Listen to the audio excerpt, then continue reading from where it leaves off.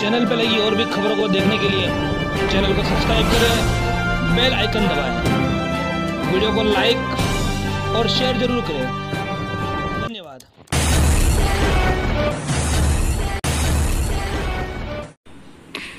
नमस्कार सलाम वालेकुम आदाब। मैं हूँ यूसुफ अली। आप देख रहे हैं सेफ़ न्यूज़ लाइव। आइए देखते हैं आज की खास खबर। दोस्तों, खबर बेहद चौंकाने वाली है। इसे मानवीय भूल कहें या लापरवाही। लेकिन बहुत ही चौंकाने वाली खबर है।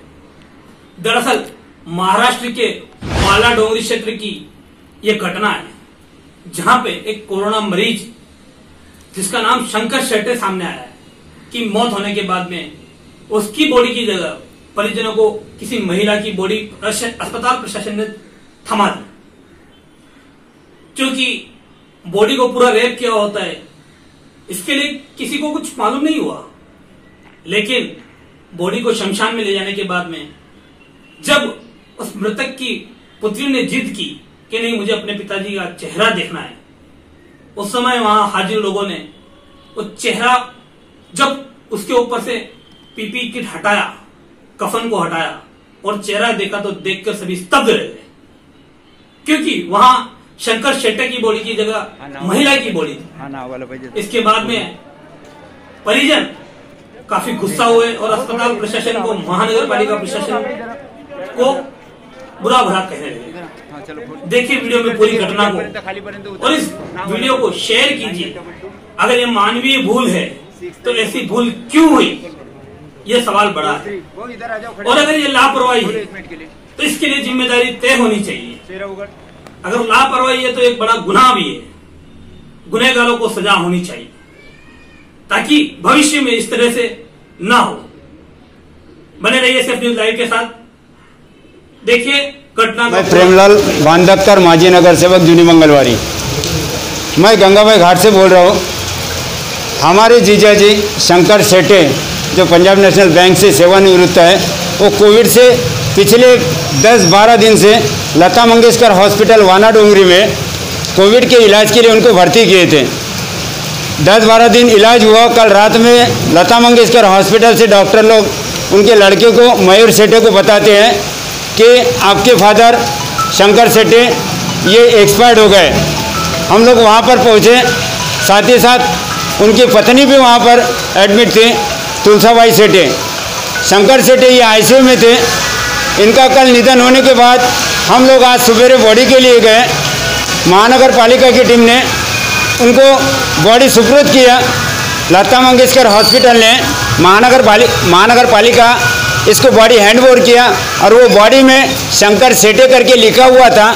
और शंकर सेठे के जगह हुआ ये कि वो बॉडी जब हम गंगाबाई घाट पर अंत्य संस्कार के लिए लाए तो वहाँ पर उनकी बेटी वो उनकी इच्छा थी कि पापा का मुझे चेहरा देखना है। जब उन्होंने चेहरा देखने के लिए हमने कारपोरेशन के, कोविड के कर्मचारियों के माध्यम से वो किट को खोला तो उसमें पता चला कि शंकर सेठे मृतक का बॉडी उसमें नहीं है, बल्कि उसकी जगह किसी महिला की बॉडी थी। हमारी आँख खुल गई। हम जैसे महानगर पालिका को फ़ोन किए, उन्होंने कहा कि तुम लता मंगेशकर हॉस्पिटल में फ़ोन लगाओ। लता मंगेशकर वाले वो बोलते हैं कि हमने तुमको बॉडी दिया, अब तुम देखो, परंतु वो कोई मदद करने के लिए तैयार नहीं थे। उसके बाद में हमने कोविड 19 के कंट्रोल रूम में फ़ोन लगाए। पता नहीं फिर लता मंगेशकर को क्या हुआ। उनके माध्यम से हमको मालूम पड़ा कि तुम्हारी बॉडी, शंकर सेठी का बॉडी, ये मोक्षधाम पर है करके। फिर मोक्षधाम वालों ने एंबुलेंस के माध्यम से बॉडी को यहाँ पर भेजे और फिर वो बॉडी महिला की बॉडी के जगह शंकर सेठे का बॉडी भेजा और शंकर सेठे का बॉडी में महिला का नाम का स्टिकर लगा हुआ था।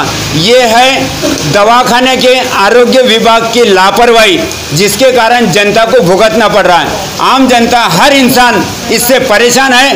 कोई भी दवाखाना जाने के लिए डरता है और दवाखाने में जाने के बाद घंटों तक के वहाँ पर खड़े रहना पड़ता है फिर भी दवाखाने में नंबर नहीं लगता है और नंबर लग गए तो उसके बाद में घर का आदमी पैदल जाता है और दवाखाने से सीधा घर न पहुँचते हुए सुधरते हुए गंगाबाई घाट पर जाता है। ये महानगर पालिका प्रशासन इनकी लापरवाही का नतीजा आम जनता को भुगतना पड़ रहा है। कृपया आप सभी से निवेदन करते हैं पत्रकार भाइयों से मैं नम्र निवेदन करता हूँ कि यह जन जागृति करो और प्रशासन को उजागर करो और हमारे साथ ही साथ शंकर सेठी का जो बॉडी यहाँ पर आया, कोविड का पेशेंट का डॉक्टर बोलते हैं कि इसका कोई पीएम नहीं करते, परंतु हमारी बॉडी का, पेट का पूरा सर्जरी कटा हुआ है और पेशेंट ये ये जो बॉडी है, पूरी ब्लीडिंग से भरी हुई है। शंकर सेठे मृतक मृतक शंकर सेठे का चेहरा पूरा दबा हुआ है। यह जानकारी आप प्रशासन तक, महाराष्ट्र राज्य और भारत सरकार तक पहुँचाए, यही मैं आपसे विनती करता हूँ। नमस्कार। सेफ़ न्यूज़ लाइव पे अपने व्यापार एवं सेवा से संबंधित विज्ञापन हेतु mobile number seven three eight five nine five two seven eight six अथवा seven seven three eight two six seven seven eight six पर संपर्क करें।